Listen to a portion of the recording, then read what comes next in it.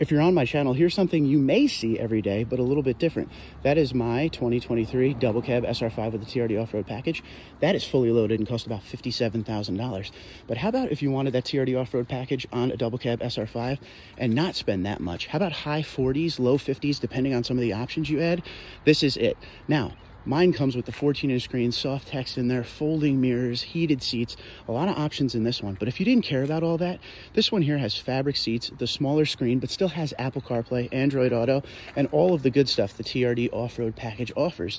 So if you wanted to save a little bit of money, but still have that TRD off-road package and you don't really care about your back seat, there are ways between the bottom and the top as far as price. You could build these things with different off-road packages. So what do you think? Is this a Tundra you would get? Double cab SR5?